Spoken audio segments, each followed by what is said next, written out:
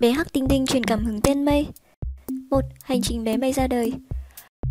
Từ cá thể sơ sinh thiếu sữa mẹ phải chăm sóc đặc biệt, Hiện Hắc Tinh Tinh với cái tên đặc biệt là Mây 10 tháng tuổi đã trở thành biểu tượng sinh tồn, Được xem là hot kid của Vinpearl Savia Phú Quốc. Mây là cá thể hắc tinh tinh đầu tiên được khai sinh tại Vinpearl Savia Phú Quốc ngày 18 tháng 5 năm 2023. Mây là con đầu lòng của bố Tinh Tinh tên Cherry, nhập tịch đảo Ngọc từ Nam Phi và người mẹ Tinh Tinh tên Baby đến từ Malaysia. Những ngày đầu Mây mới ra đời, mẹ Baby luôn gắn bó với con như hình với bóng, cho con bú, bắt giận, cùng chơi đùa. Tuy nhiên, lần đầu làm mẹ lại không đủ sữa nên Baby không biết cách chăm sóc và xử lý tình huống. Vào ngày tuổi thứ 11, Baby mẹ bỏ đói suốt 13 tiếng khiến sức khỏe suy yếu, thân nhiệt hạ xuống 32 độ C.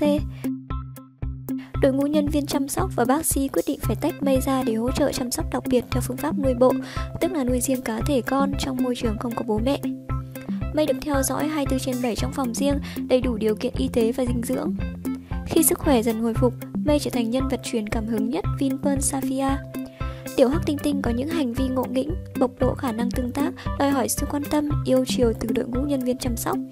Suốt thời gian nuôi bộ, cô được yêu thương, chăm chút không khác gì một đứa trẻ sơ sinh.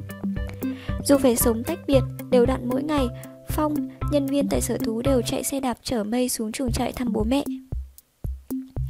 Ngày Mây đầy tháng, đội ngũ cán bộ nhân viên, bác sĩ tổ chức thổi nến chúc mừng Tiểu Tinh Tinh bình phục, khỏe mạnh.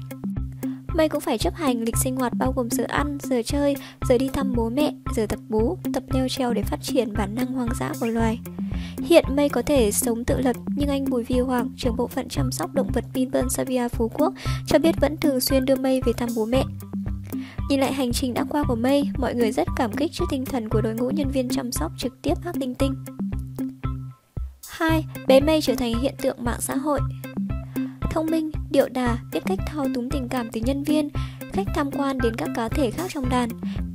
Nên không có gì là lạ khi bé Mây được phong danh hiệu Hot Kid Vinpearl Safia.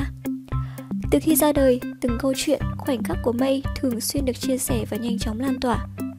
Mỗi buổi sáng, Phong, Nhường và Ngọc, ba nhân viên chăm sóc vừa kết thúc thủ tục hàng ngày trong khu vực chuồng trại Hắc Tinh Tinh thì lại bị cô bé nghịch ngợm níu chân, giơ hai cánh tay lên, ánh mắt ươn ướt nóng nánh vòi vĩnh.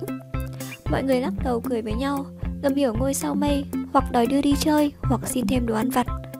Vừa được ăn sáng với khẩu phần đầy đủ thức ăn, trái cây và sữa, nhưng mây là vậy, bạn ấy thích tương tác và làm nũng với khách tham quan, nhân viên chăm sóc. Bạn Hắc Tinh Tinh nhí này còn có bộ ảnh tập thể dục buổi sáng hút mắt fan lắm. Anh Bùi Phi Hoàng, trưởng bộ phận chăm sóc động vật Vinpearl Safia Phú Quốc vui vẻ kể tội mây. Cá thể Hắc Tinh Tinh nhí trở thành em bé thần tượng có lượng fan đông đảo nhất trên TikTok của Vinpearl Safia Phú Quốc, với lượng tương tác lên đến gần 9 triệu lượt xem, hàng trăm nghìn lượt tim và bình luận. Cộng đồng mê mây trên Facebook cũng sôi nổi không kém khi các bài đăng về cá thể này đều đạt tương tác cao.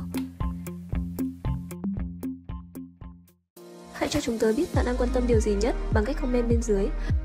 Hãy nhấn nút subscribe để xem những video của Pet Oil mỗi ngày các bạn nhé. Cảm ơn các bạn đã quan tâm và theo dõi. Xin chào và hẹn gặp lại trong các video sau.